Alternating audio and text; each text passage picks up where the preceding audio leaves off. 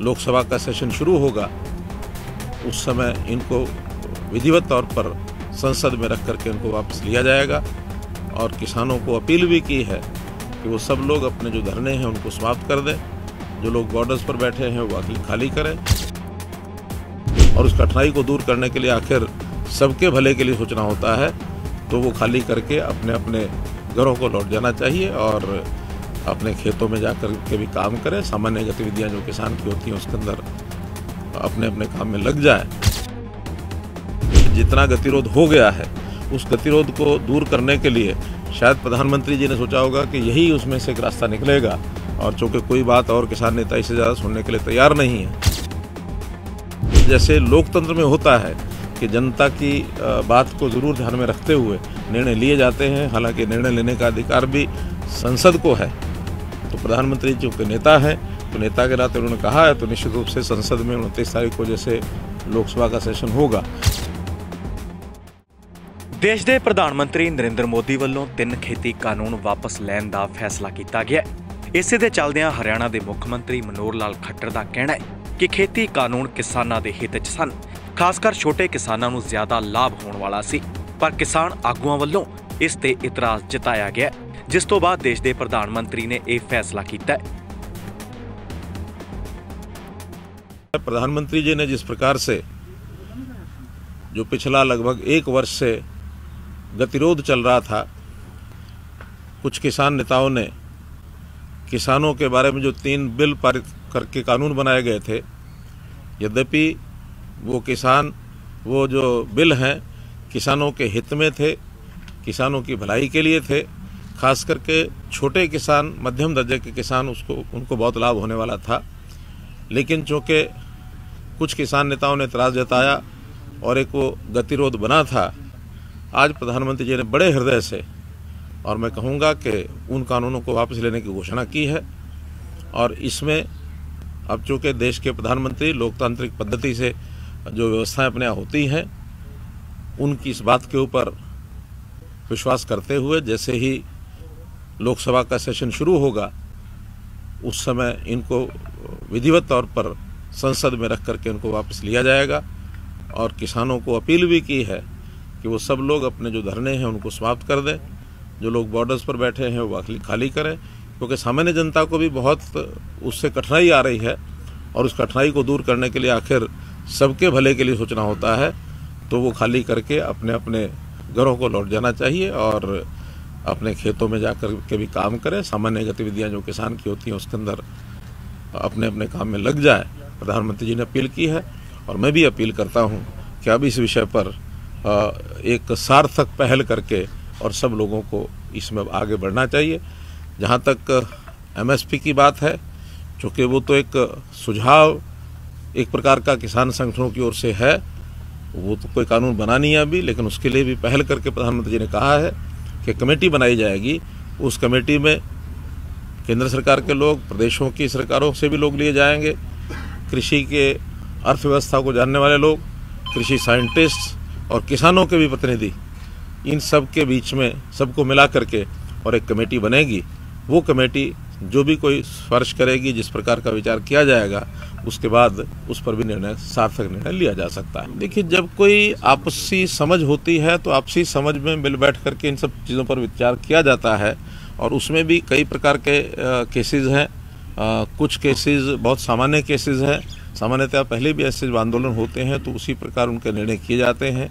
जो कोई बहुत गंभीर धाराओं के अंतर्गत होते हैं उनका विषय जो है चूँकि बहुत केसेस कोर्ट में भी चले जाते हैं तो कोर्ट के माध्यम से वापस करने पड़ते हैं। तो एक सार्थक जिसको कहना चाहिए पहल हम अपनी ओर से भी करेंगे और इसमें किसी प्रकार का आगे कोई विवाद बढ़ने नहीं दिया जाएगा। हम्म, देखिए ये सारा आंदोलन का ज़्यादा असर हरियाणा पर या कुछ पंजाब में भी कह सकते हैं लेकिन इन आखिरी दिनों में तो पंजाब में उतना प्रभाव नहीं था जितना हरियाणा में था कुछ थोड़ा पश्चिमी उत्तर प्रदेश में था। तो मैं जब जब भी पिछले वर्ष भर में चाहे अपने पार्टी के अध्यक्ष से मिला हूँ, चाहे होम मिनिस्टर से मिला हूँ, चाहे प्रधानमंत्री से मिला हूँ। प्राय प्राय हर बार इस विषय पर चर्चा होती रही है और हर बार उन्होंने भी कहा कि किसी प्रकार की कोई बातचीत किसी कॉर्नर से आती है तो वो ज़रूर हमारे तक पहुँचाते रहें। मेरी भी बीच बीच में कुछ किसान नेताओं से बातचीत चलती रही है, क्योंकि ये सब बातें इनफॉर्मल होती है। फॉर्मल लेवल पर हमारा कोई अधिकार भी नहीं है क्योंकि ये विषय राष्ट्रीय स्तर का है, केंद्रीय कानून बने हैं, लेकिन इनफॉर्मली जितनी बातें जितने इनपुट्स हमारे पास थे, वो हमने बताए। और उसमें बातचीत करने में जो जो लोगों को हम भेज सकते थे, केंद्रीय नेताओं के पास भेजा भी था। प्रारंभ में तो 11 सिटिंग्स जो फॉर्मल सिटिंग्स हुई थी, लेकिन 11 सिटिंग के बाद लगातार हर बार विषय एक प्रकार से रुक जाता था। बाद में इनफॉर्मल मीटिंग्स में कई लोगों के संदेश हमने पहुँचाए हैं। मैं समझता हूँ उसी में से एक विषय निकला है कि अभी एक बार जो कि जितना गतिरोध हो गया है, उस गतिरोध को दूर करने के लिए शायद प्रधानमंत्री जी ने सोचा होगा कि यही उसमें से एक रास्ता निकलेगा। और चूँकि कोई बात और किसान नेता इससे ज़्यादा सुनने के लिए तैयार नहीं है तो उन्होंने बड़ा मन दिखा करके, और जैसे लोकतंत्र में होता है कि जनता की बात को ज़रूर ध्यान में रखते हुए निर्णय लिए जाते हैं, हालाँकि निर्णय लेने का अधिकार भी संसद को है। तो प्रधानमंत्री जी के नेता हैं तो नेता के नाते उन्होंने कहा है तो निश्चित रूप से संसद में उनतीस तारीख को जैसे लोकसभा का सेशन होगा तुरंत उसमें इसको निर्णय को स्वीकार प्रतिक्रिया अभी तक इस पर नहीं थी उन्होंने कहा कि कल वो बैठक करके अपना फैसला देंगे। वही राकेश जी के किसान नेता का कहना है कि जब तक कानून वापस नहीं होते संसद में तब तक हम तो आपकी क्या अपील है? आपने ये भी कहा है सर इसमें कि जब तक जो एमएसपी है उसके ऊपर कानून नहीं बनता, किसान हटने को तैयार नहीं है। तो जो कुछ किसान संगठन है, वो अभी भी अपनी बात पर अड़े हुए हैं। देखिए अलग अलग बातें अलग अलग किसान नेताओं ने कही हैं। कुछ लोगों ने स्वागत किया है और कुछ लोगों ने एमएसपी एमएसपी की बात कही है। मैं समझता हूँ इन दोनों बातों के ऊपर प्रधानमंत्री जी ने बात कह दी है, क्योंकि कानून कोई बना हुआ, बने हुए तो तीन ही कानून थे ये। तीनों ही वापस लेने की बात कह दी है और मैं समझता हूँ प्रधानमंत्री जी की विश्वसनीयता समाज में, इस देश में बल्कि मैं तो कहूँगा दुनिया में इतनी बनी हुई है कि जो बात वो कह देते हैं, उसको पूरा करते हैं। इस पर तो कोई चिंता किसान नेताओं को करनी नहीं चाहिए कि एक बार जब कह दिया है तो निश्चित रूप से यानी होगा ही। बल्कि अपने विपक्ष के नेताओं ने भी ये कहा है। अभी मैं हुड्डा जी के स्टेटमेंट सुन रहा था तो उन्होंने भी कहा है कि जब प्रधानमंत्री ने कहा है तो लोकतंत्र में विश्वास ही करना चाहिए, विश्वास करेंगे और उसको वापस करेंगे। अविश्वास की कोई बात नहीं है। आज भी अगर अविश्वास की भावना प्रधानमंत्री जी के बारे में कोई रखते हैं तो मैं समझता हूँ ये बड़ी भूल है। नहीं करनी क्या किसानों से देखिए ये ये पॉलिटिकल इस तरीके से नहीं सोचना चाहिए। किसानों के हित में हम हमेशा सोचते हैं चाहे इन कानूनों के द्वारा लागू होने के बाद जो स्थिति थी वो अजम्पन यही थे कि किसानों को लाभ होगा। और वैसे भी हमने कभी भी किसान के हित में ही हमेशा जितने कदम उठाए हैं आप हरियाणा में देख लीजिए हम लोगों ने पानी है, वो टिल तक पहुँचाया है। प्रोक्योरमेंट भी जो है, वो ज़्यादातर फ़सलों की प्रोक्योरमेंट हम करते हैं। जो हरजाना है, जो मानो हरजाना क्या, जो उनका नुकसान होता है, मुआवजा है, उस मुआवजे को भी हमने सारे देश में सबसे ज़्यादा यहाँ रखा हुआ है। पहले ये बारह हज़ार रुपये एकड़ था, हमने उसको साढ़े, यानी पंद्रह हज़ार रुपये एकड़ कर दिया है, दस का साढ़े बारह कर दिया है। और भी जितनी सुविधाएँ किसानों को हम दे सकते हैं, चाहे वो भूमि, ये जो सॉयल परीक्षण के जो कार्ड्स थे वो हमने बनाए हैं, लैब्स बनाई हैं। हर एक मंडी में अब वहाँ लैब बनेंगी। स्कूल, कॉलेजेस में हमने लैब बना दी है, ताकि सॉयल टेस्टिंग का जो सिस्टम है, उसके आधार पर सॉयल की जो क्वालिटी है, उसको देख करके किसान को बताया जाए क्या बुआई करनी, क्या नहीं। सेम की जो ज़मीन है, उसको हम एक लाख एकड़ उसको ठीक करने की और आगे बढ़ रहे हैं। और किसान का, जैसे प्रधानमंत्री जी ने शुरू किया था, किसान मान सम्मान निधि तो वो सम्मान निधि के अंतर्गत छः हज़ार रुपया हर किसान को हर वर्ष आता है। तो बहुत से ऐसे पग हैं जो गिनाए जा सकते हैं, जो पहले कभी नहीं उठाए गए। आज भी आगे हम छोटा किसान जो है, जिसकी आय बहुत कम है, ज़मीन कम है, ऐसे किसान के परिवारों को किसी न किसी को रोज़गार, इस किस, यानी कृषि के अलावा रोज़गार भी दिलाने का ये हम प्रयत्न कर रहे हैं। जैसे हमने हरियाणा में ही मुख्यमंत्री अंत्योदय परिवार उत्थान योजना ये चलाई है, इसमें एक लाख परिवारों को, उसमें मैं समझता हूँ किसान भी होंगे, मजदूर भी होंगे, सभी होंगे तो ऐसे परिवारों को रोज़गार दिलाने की हमारी मुहिम चल रही है, आज भी उसके लेकर के मेरी बैंक के साथ मीटिंग है जो हमारी स्टेट लेवल बैंकिंग कमेटी है ताकि उनको ऋण ऋण मिल सके उनको रोज़गार करने के लिए काम हो सके। हम गरीब के लिए किसान के लिए जितनी योजनाएँ बनाई आज तक सब बनाई हैं। लेकिन केवल उसमें से शंकाएँ पैदा करना अविश्वास पैदा करना ये किसी भी लोकतांत्रिक देश में उचित नहीं होता है। सरकार थी चाहे केंद्र सरकार की बात करें राज्य सरकार की बात करें लगातार कृषि कानूनों के साथ समर्थन में खड़े हुए थे आप लोग। अभय चौटाला ये भी कह रहे हैं कि एक प्रस्ताव हरियाणा विधानसभा में आप लेकर के आए थे, उसे भी वापस कराएँगे, जो कि इनके समर्थन में था। एकाएक ऐसा क्या हुआ कि प्रधानमंत्री सामने आए और वापस ले लिया? पूरी सरकार के जो स्टैंड थे देखिए ये पिछले बहुत समय से चीज़ें चल रही थी। कहीं ना कहीं कोई ना कोई स्टेप आगे आएगा और आखिर तो समस्या कोई भी जब होती है उसके समाधान के लिए लोकतंत्र में तरीके होते हैं। उस तरीके में बातचीत का एक तरीका होता है। बातचीत शुरू में फेल हो गई बाद में फिर लगातार दोनों तरफ़ से चीज़ें अड़ी रही। अंतोगतवा पिछले लगभग दो महीने से मैं कह सकता हूँ कि हमारे गृह मंत्री जी ने भी और प्रधानमंत्री जी ने भी संकेत किया कि समय आने पर सब चीज़ें ठीक हो जाएँगी। अब ये उनका अपना विषय है कि उन्होंने किस दिन उसकी घोषणा करनी और क्या करनी है। जो कि मुखिया वो हैं और केंद्र सरकार के कानून हैं अधिकार भी उनको है।